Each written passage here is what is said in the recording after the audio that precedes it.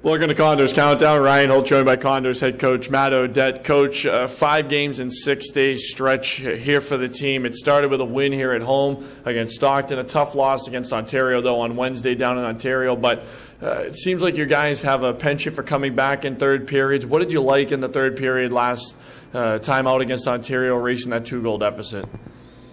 Well, there's certainly no quit in us. Um, you know, uh, we we know and we've realized in the past couple weeks that we're never out of a game.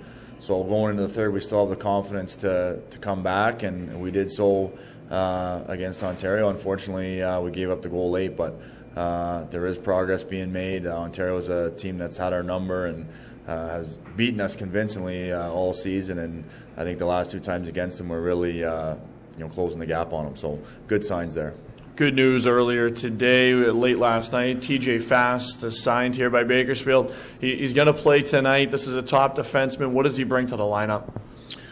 Well, he's a puck mover. Uh, just a just a smooth skating defenseman.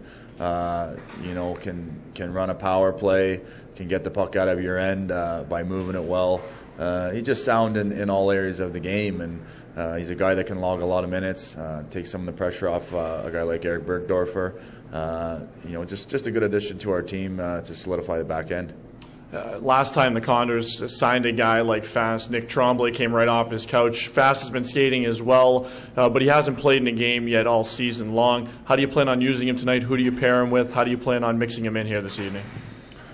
Well, it is going to be difficult for him, uh, but sometimes this is the way it works out, and, and sometimes it works out for the best. Uh, similarly to, to Nick Tremblay, uh, you know that's proof in the pudding right there. But we'll put him with Bergdorfer. Uh, you know, obviously that's a good guy to to put him with to, to ease him back into playing, and uh, you know he'll get right into it, and he's excited to get going and getting in some games. We know that Brian Stewart will play all three games on the weekend. Here for Bakersfield with Scott Greenham, a little bit of an injury he suffered in Ontario. Uh, what's the key tonight? A big game here against Las Vegas, a big start to the weekend. What's the key tonight to get the two points? Well, continue to play the right way, and that's managing the puck properly.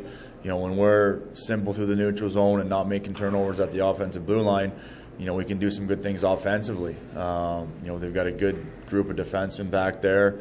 Uh, you know, we have to make them defend. Uh, there's some of them, well, majority of them I think are offensive minded, and we have to make them play in their own end and, and use our cycles and use our down low play. So uh, it's going to be a tough test to, uh, for us, but uh, it's going to be one that we're ready for and, and, kick off the weekend right. All right, Coach. Thanks. Good luck tonight. Thanks, Goldie. Let's Condors head coach Matt O'Dette. We'll have more on the Condors Broadcast Network.